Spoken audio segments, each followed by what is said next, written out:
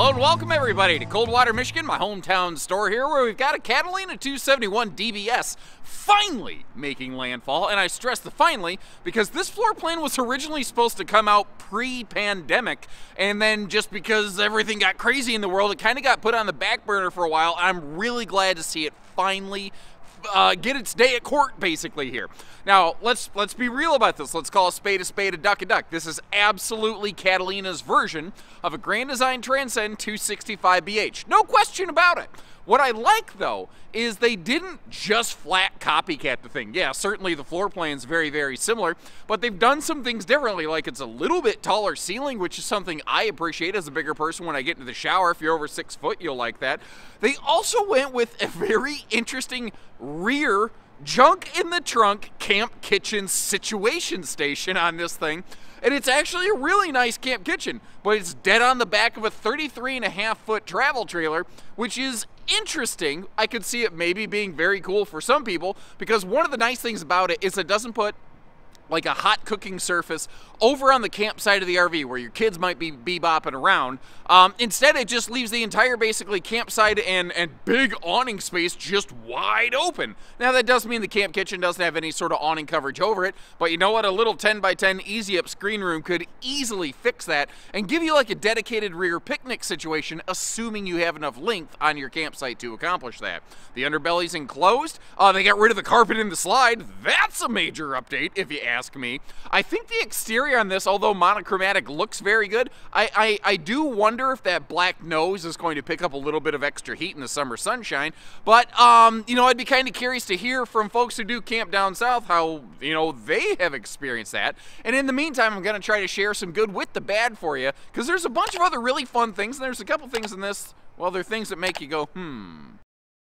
It should also be mentioned this is a member of the Catalina Summit 8 series. Not all Catalinas are quite created equally. Uh, there's the Catalina Legacy Edition, which is what you've seen almost exclusively since the pandemic era first began. The Summit series that we're looking at is the uh, simpler, more basic, lighter weight, less equipment, lower cost kind of alternative option to the family right here. Um, and as a result, you know, hey, lightweight, lower cost, those are great functions. But there's things this RV is intended to do and things it's not intended to do. Let's just get this out of the way. Without question, entertainment setup on this is not the most uh, ideal. Uh, TVs are not factory standard included equipment on something like this. And if you really look, your entertainment center is kind of more directly across from the dinette than the sofa. But the thing is, that is just a big blank wall. And one of the kind of cool unsung benefits of a stick-built camper is the fact that basically every 16 inches on center or less, you've got a wall stud. So if you wanted to hang a gigantic mega jumbotron up there that you then um, you know can can turn and pivot some way or another, like if you want to make it face the bunks the rear sofa, you could kind of do that too. Another thing that's sort of neat is these are six foot nine ceiling height.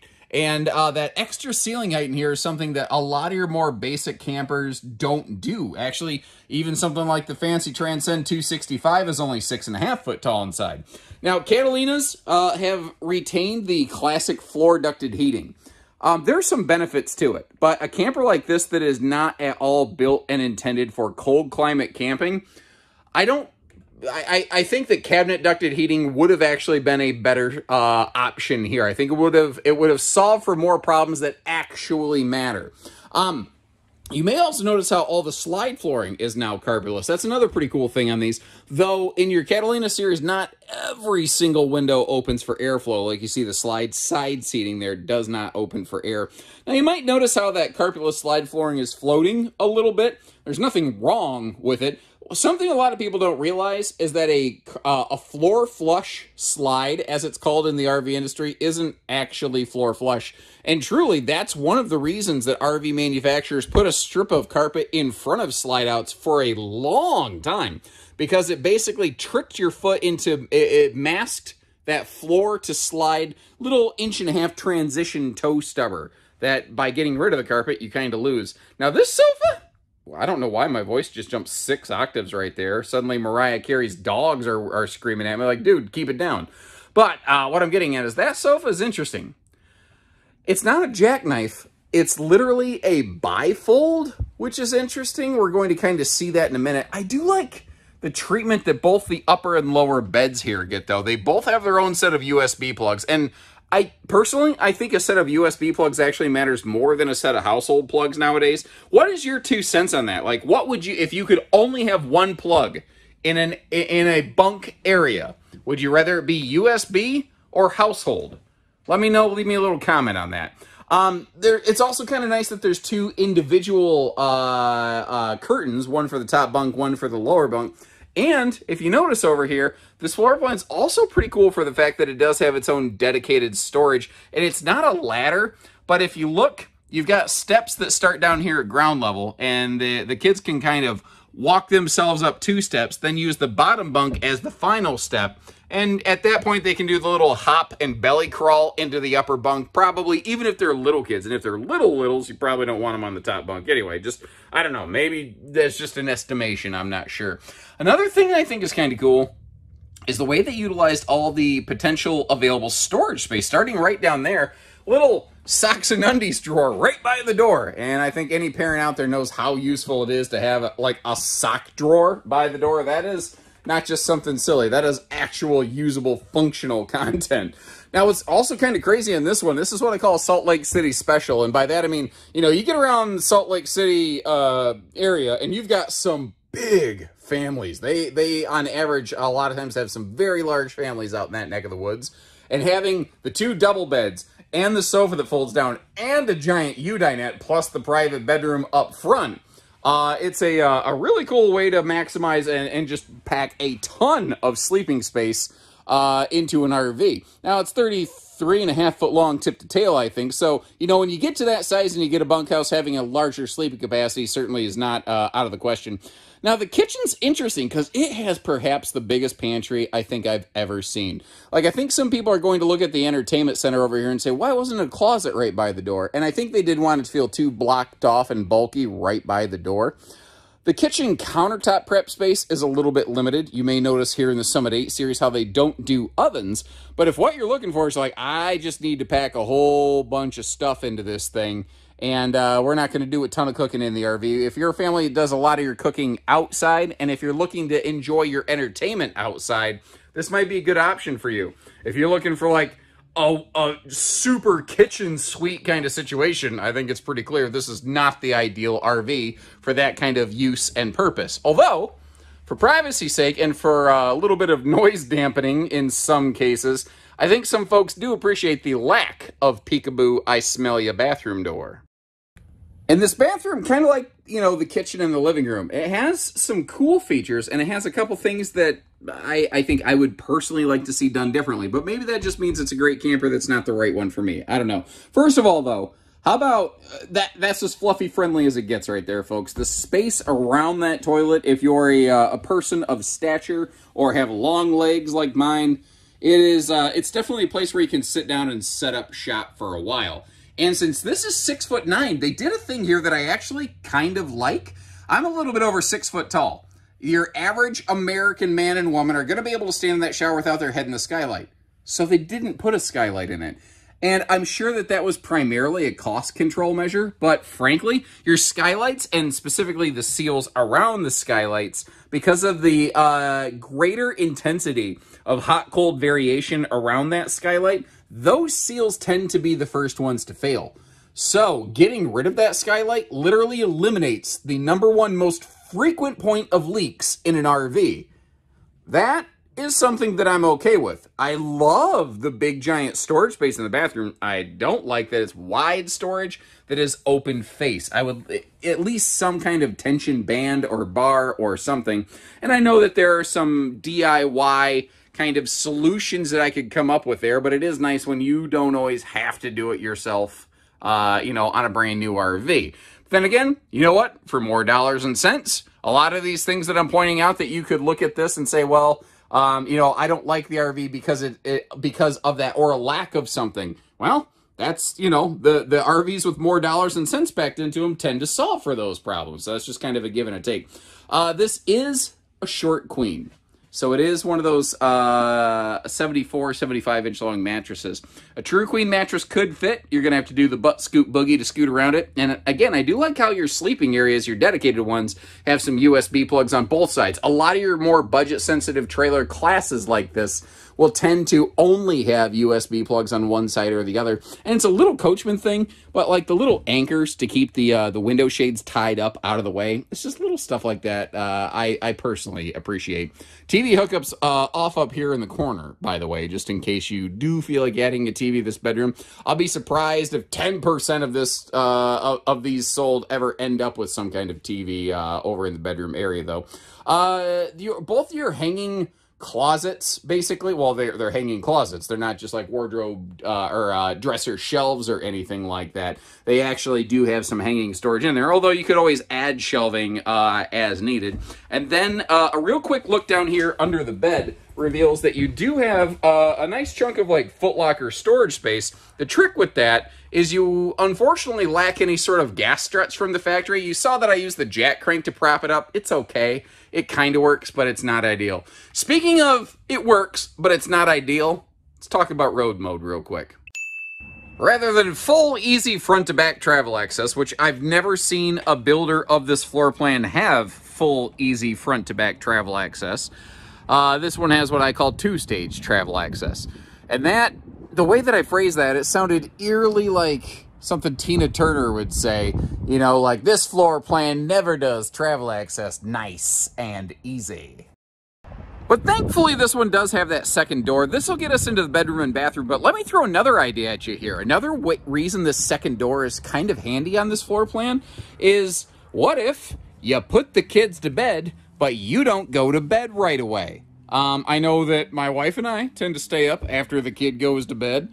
Well, being able to have the kid in bed in the back and then still have a way to access and slide in and out of the RV without banging doors and waking everybody up, everybody sleeps better, everybody has a better day tomorrow. All right, so let's talk towing real quick here because I think that this is an RV that a lot of people are going to say, um, can I tow it with my half ton? And I think a lot of people who are very happy to take your money are going to say, you betcha, Mr. Customer, just sign here. Or Ms. Customer, I, I, I don't know your lives. Um, I'm not quite that eager to jump onto the half ton train, and I'll tell you why. Like, you see, uh, I don't know, like a, a 6,600 ish pound empty dry weight, and okay, that kind of sounds half ton towable, but then you realize it's got like a 10,000 pound GVW and it's 33 and a half foot long. Even if I personally had a very capable half ton, if I was going to go through wind zones or major elevation changes, I wouldn't want to tow this with that vehicle personally. Um, that's just, you know, my two cents there. Now, um, if you're an experienced driver and you're like, nah, my truck can do it, well, oh, oh, okay, that's up to you. But I, you know, if I was going to be local, and I had a good heavy half ton, maybe. If I was going to go long distance, I'd probably recommend a three quarter. I don't know that you got to go heavy duty diesel HD. You know, common gas or three quarter would probably yank this thing anywhere and everywhere. Because again, the, the longer length of this will more easily push around a smaller vehicle. So that's a major thing to kind of keep in mind there. I like how the windows are tinted on these.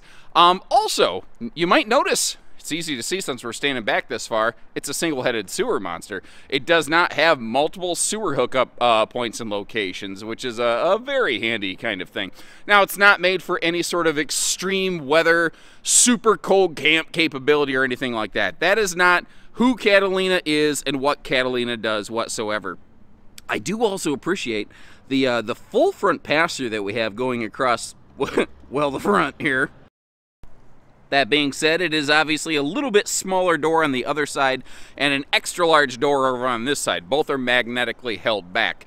Uh, they are solar prepped and wired up uh, so that if you, uh, well, they do first of all offer a factory solar package, but if you want to uh, do some work after the fact, they've uh, got a prep plug up on the roof where what you can do is, uh, you know, put a panel on, uh, install a charge controller, and then finish running the wires up to the batteries. That's what prepped means.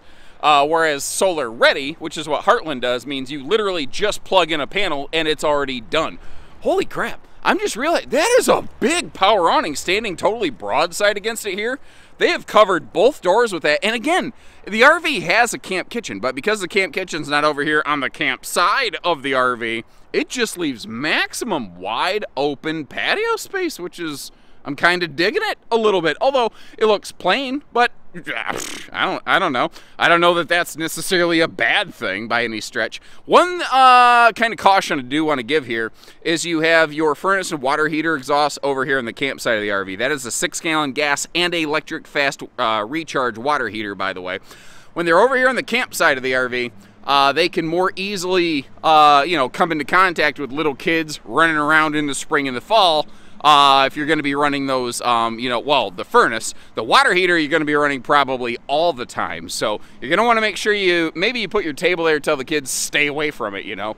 Now, if uh, you noticed in our earlier, um, pardon me, floor plan and a flash footage, this has the you know, multicolor, multi-strobe pattern disco party lights. You can kind of see it doing its thing under there. Now, if you're not into all that, if you just want a blue light or a white light or a red light or a green light, whatever the case may be, if you want to Dr. Seuss your light patterns, you can set it to just one color and tell it to stay there.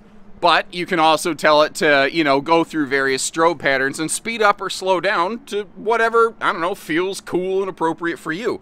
Now let's talk uh, some running gear on this because this actually does not run on a, uh, a, common Lippert chassis. This is actually a Norco Huck bolted frame, very similar to like what Winnebago runs on. Um, uh, Catalina's been doing that for a while. They're one of the very few in this class that does anything different. You obviously see how your spare tires uh, mounted down below. You got your little leash latch over here uh, to keep the uh, drunken uncles, uh, you know, tied down like a wallaby sport. Anybody pick up that reference? Anyway, now you see that little black circle? That is a little cold water uh, outside sprayer port. And this right here is something, again, it is very interesting and very unconventional. It's the junk in the trunk uh, camp kitchen, basically, where they had a chunk of space under the bunks. And under the bunks, instead of a trunk, they put a camp kitchen. And I don't know. What do you think about that? Is that genius or insanity? Was that a uh, Animaniacs good idea or bad idea? Now these have had a walkable roof for a long time, but they're finally putting that bracket up top there. So if you want to get one of those telescopic removable ladders, you can more easily access this. And I forgot to have this open. Hopefully that baggage door is unlocked. And ooh, bank error in your favor. Here's the thing this there, there's still a trunk in the uh, the under the bunks here. It's a bunk trunk. it's a junk in the bunk trunk. I don't know. There's something there. Maybe not. I'll see if I can't figure it out sometime. The thing is, though, my thought is if cargo shifts it could be a little bit tricky to reach the end of that. So I think what you might want to do is get some kind of storage tote that you stick in there first, so loose objects are uh, a little closer to you and a little easier to get a hold of. That's just, you know, my, my two cents, just an idea that I had, and I just ran into the building. Ow. So thanks again for tuning in. Like I said, just flat out their version of the Transcend floor plan, but Cougar also makes a good version of this. So which one's the best for you? Well, if you haven't seen them, what I'm going to do is leave you some links in the video description, not only to check for pricing and availability, but also to check out those other similar floor plan RVs from other builders, and let me know which one you would go with and why. And of the three that I mentioned, Transcend, Cougar, and this Catalina, I, uh, this is probably going to be the least expensive of all three, but that doesn't mean that it's going to be the best fit for you. Who knows? Maybe you want to spend extra money, go up to the Cougar, get all the widgets and whiz bangs. I don't know your life. I just know my way around a couple campers, man. and that's just like my opinion, man. So when you're ready, uh, remember the rug really pulls the room together, dude. Take care, stay safe, have fun, and happy camping, everyone. How many people have no idea what I'm even referencing right now?